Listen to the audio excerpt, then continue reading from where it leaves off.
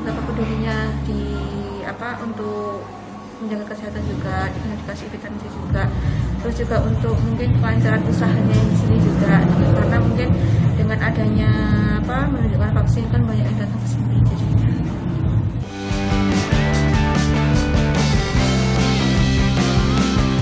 ya sebetulnya kita akan berhidup berdampingan dengan COVID sampai kapan pun ya. Jadi paling tidak eh, kita sudah dapat solusi dari pemerintah kita harus vaksin.